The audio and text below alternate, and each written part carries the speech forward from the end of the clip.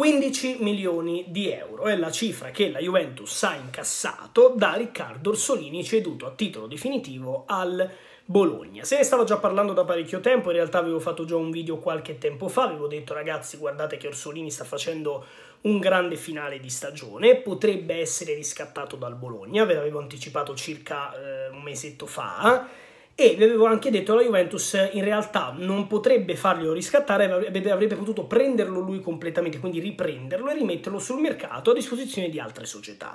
In realtà hanno agito in maniera diversa, avevano un gentleman's agreement, quindi un, un accordo fra gentiluomini, fra Bologna e Juventus, nel caso in cui il Bologna avesse voluto riscattare eh, appunto Orsolini, o meglio, più che riscattare, proprio acquistarlo a titolo definitivo, avrebbe potuto tranquillamente acquistarlo a titolo definitivo per gli accordi. Gli accordi dicevano 15 milioni di euro.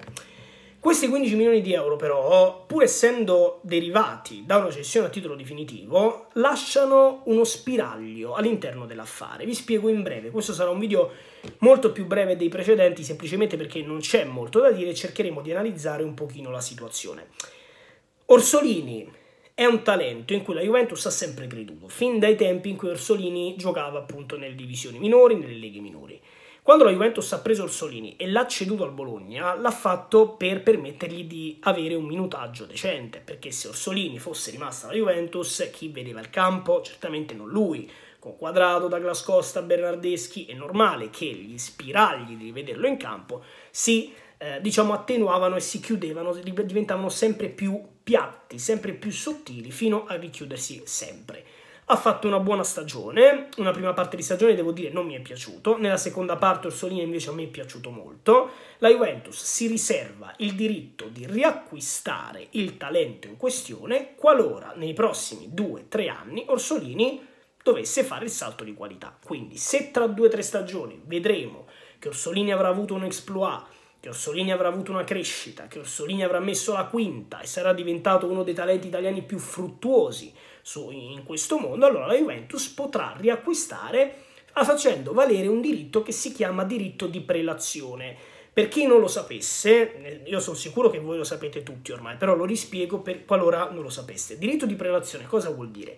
Che se io cedo a te un giocatore e io ho un diritto di riacquisto, quindi io posso riacquistare quel giocatore, ho un diritto di prelazione quando nel momento in cui ho idea di acquistare quel giocatore e ci sono anche altre squadre che quel giocatore vorrebbero acquistarlo, tu quel giocatore lo devi dare a me necessariamente perché io ho il diritto di prelazione. Prelazione vuol dire avere la possibilità di agire in, nei confronti di quel giocatore per primi senza essere disturbati. Quindi se l'indomani Orsolini farà una grande stagione e arriveranno Juve, Milan e Roma pronti per acquistare Solini. Dice no, lo devi dare a me, no, lo devi dare a me. La Juventus prende una carta e dice questo è il diritto di prelazione. Lo devi dare per forza a me, devi trattare con me. Quindi la Juve non è certamente fessa, la Juve non è certamente stupida, rimanete sintonizzati e non preoccupatevi. L'unica cosa, speriamo di riacquistare tanti talenti in modo da ripetere questo giochino qui perché ci frutta un bel po' di soldi.